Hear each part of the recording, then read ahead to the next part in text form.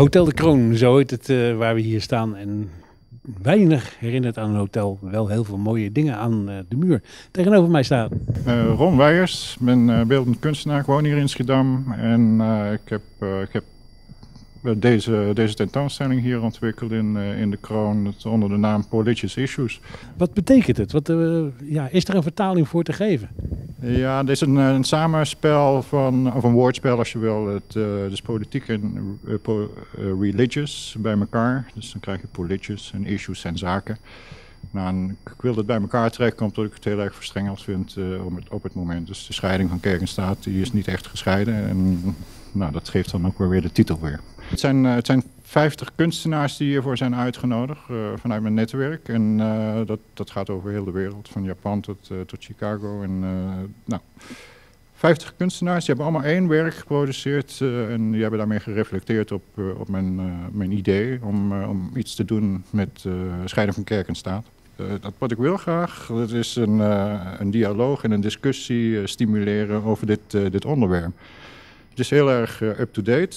Er gebeurt veel onder de naam van religie of onder de naam van de staat.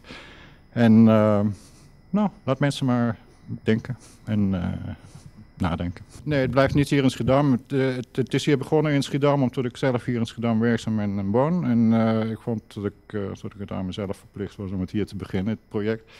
Het gaat daarna naar, naar Antwerpen, naar echt Antwerps theater. Daarna naar Gent, naar het Hof van Rijhoven. En daarna naar het Ursuline Convent Museum in IJs in Zuid-Limburg. Daarna gaat hij door naar Oostenrijk, naar het Meermuseum in Gleisdorf. En daarna gaat hij naar de Zwarte Zee, naar Dobrich, naar National Gallery.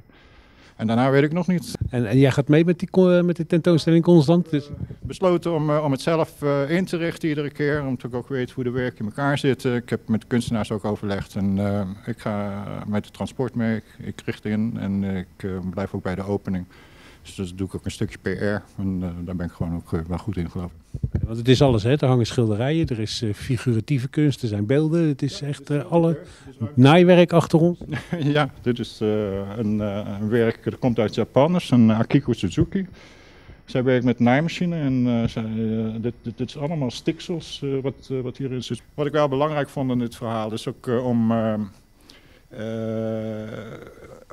de multiculturele achtergrond van deze samenleving die we hier hebben, om die iets meer te betrekken bij het kunstproces. Hier zitten kunstenaars bij uit Saoedi-Arabië, Irak, Iran, Afghanistan, Syrië. Dus uh, het, het, is niet zo dat, uh, dat de, zeg de, de allochtoon zich buitengesloten zou moeten voelen. Nee, tegendeel. Ik juist, juist nodig, nodig hem uit. En, nou, dat, dat vind ik wel een mooi ding om, om sowieso kunstenaars vanuit het buitenland hier te krijgen, maar ook uit het Midden-Oosten. dat is iets wat ik niet echt veel zie in het, in het circuit, in het kunstcircuit. En dat vind ik wel de moeite waard om, om daar een beetje een accent op te geven. In samenwerking met Han van der Horst en uh, Cor Kegel gaan we een, een, een debatforum hier doen. En dat is op 22 maart. En er, komt dus, er worden een aantal mensen voor uitgenodigd die aan tafel geïnterviewd worden of een, een vraaggesprek aangaan over het thema scheiding van kerk en staat. En dat is wellicht ook nog interessant voor het publiek, want het is een publieksactiviteit. Okay.